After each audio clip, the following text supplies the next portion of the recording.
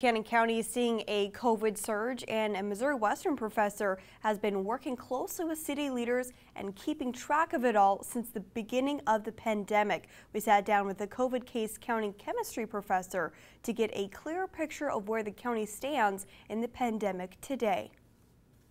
Pretty much can see the trend. It's a big smile.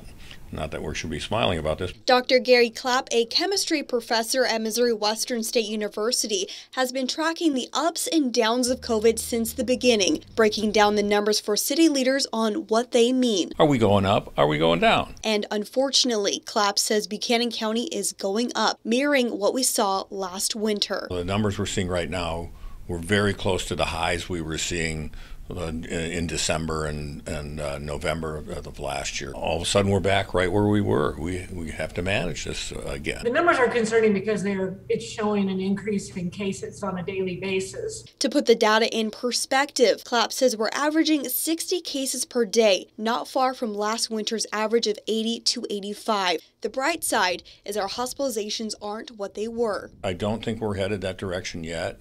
Uh, we're at the same numbers approximately that we were when we hit 90s last year, but we've learned a little better on how to treat people who are coming down with it and we're catching it a little bit earlier. Both Clapp and the health department blame the Delta variant and low vaccination rates for the sudden and alarming surge. Last winter it would go up a little bit at a time for a few days or weeks and then it would go up a little bit more where this just kind of spiked up. Things were looking up this spring. Cases were consistently zero and Clapp just about to stop graphing the cases when things took a turn for the worse. I don't need to tell you zero.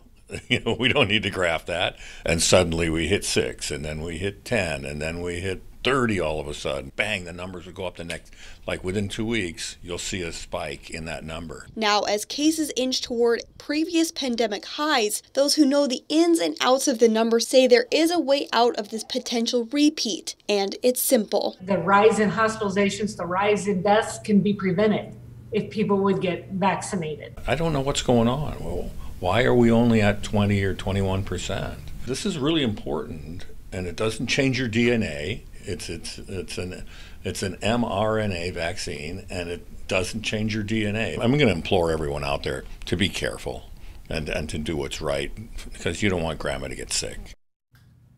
The county reached its peak of single day cases reported back on December 8th with 142 cases. Monday, the health department reported 130 cases over a three day period.